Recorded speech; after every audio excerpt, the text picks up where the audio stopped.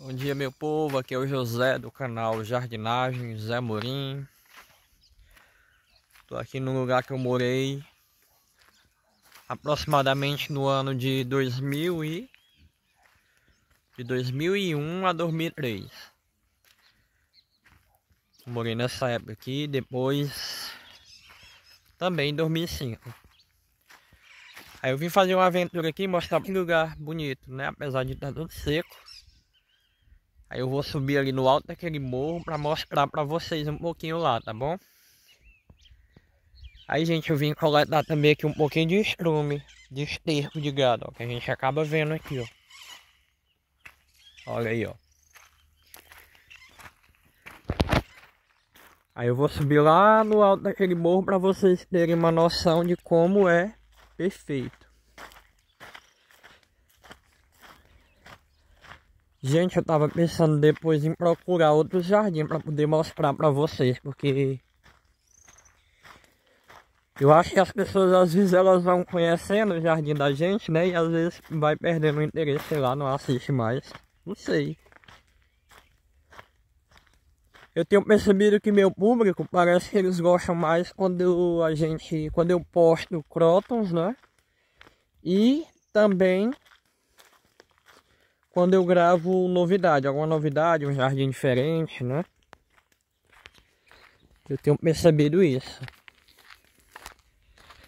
Quando eu vou lá para a cidade do Morro do Chapéu, que eu moro perto, né? Sempre eu passo de frente o jardim, eu tenho até vontade de mostrar.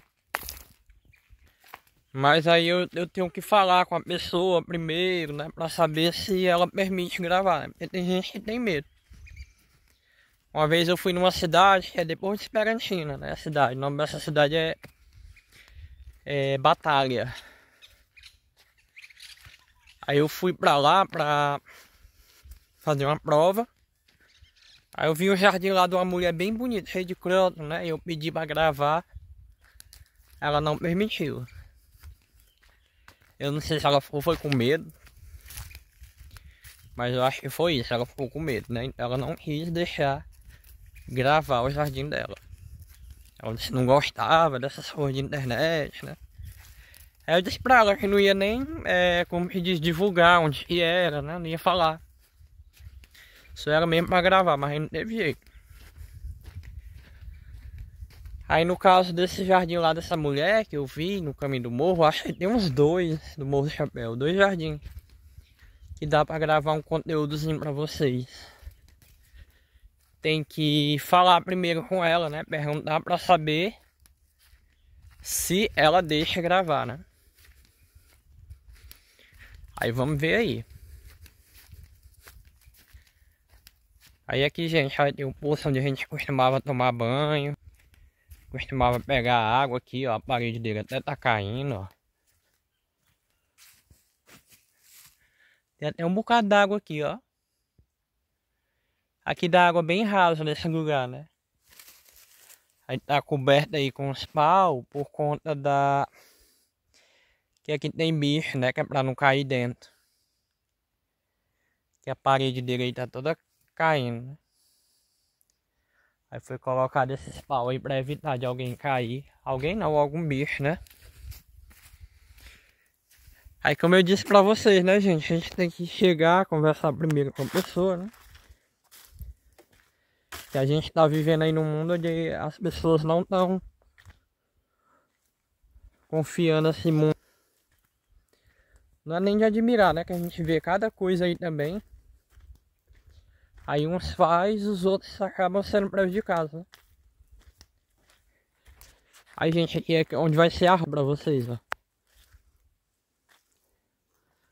Aqui é onde vai ser feita a roça. Aí eu vou mostrar aqui pra vocês esse lugar, como é bonito. Pular aqui a, a porteira. Aqui tem até certa medida assim de verde, ó. Que como eu disse pra vocês, aqui é um lugar que dá água rasa. Então tem assim uma certa medida de verde. Aqui é onde vai ser feita aqui a roça. Aqui um material bom pra rosa do deserto, ó. Esses restos aqui, ó. Elas gostam bastante, viu, gente? Resto de queimada. Elas amam. Tô até um pouco ofegante aqui, tô subindo o morro, gente. Olha aí, ó. Tô subindo aqui o morro, aí a gente fica um pouco ofegante. Tô perdendo o hábito também. Aí com o passar do tempo, se a gente não praticar, a gente fica fora de forma, né? Naquele outro vídeo lá que eu postei, naquele outro morro, eu já gravei na descida. E hoje não, tô gravando na subida.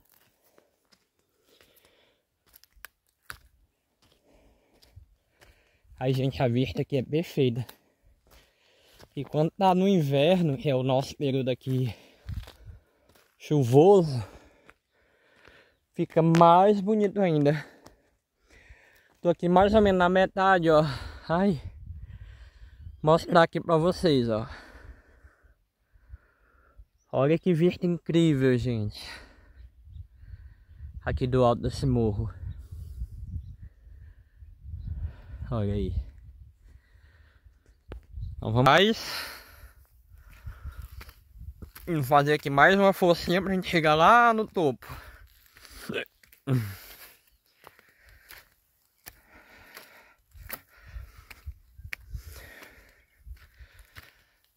Gente, não, não vai sair do vídeo aí sem curtir, tá bom? Sem compartilhar para poder ajudar a divulgar mais o conteúdo, ok? Tô quase chegando ali na reta final. Acho que faltam uns 30 metros, eu acho. Mas a vista aqui é de tirar o fôlego, viu? Aqui é perto onde o Chico Museu gravou, do terreno onde pegou fogo ali no... no pó da Rio, como é conhecido, né? Como as pessoas daqui chamam.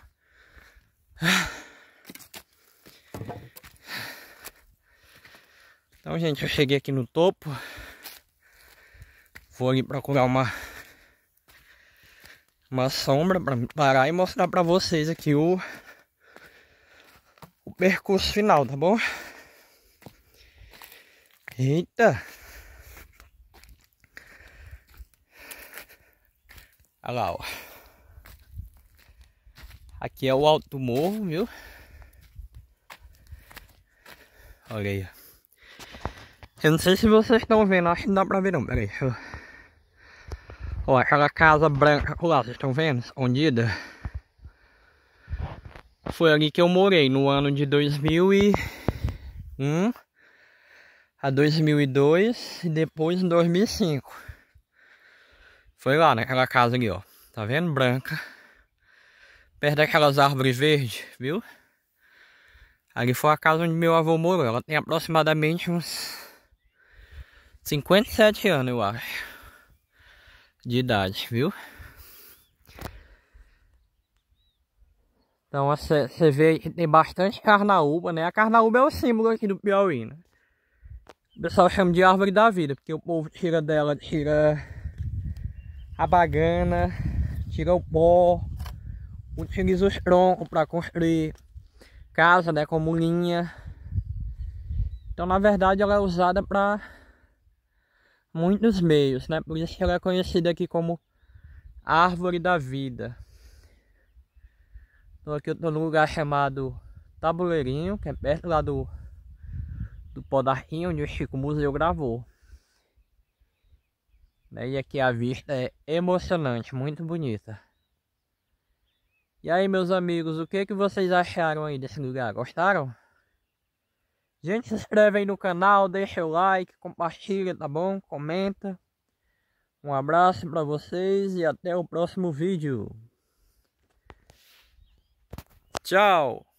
Deixa eu dar o um giro aqui 360 graus. Olha que lugar maravilhoso.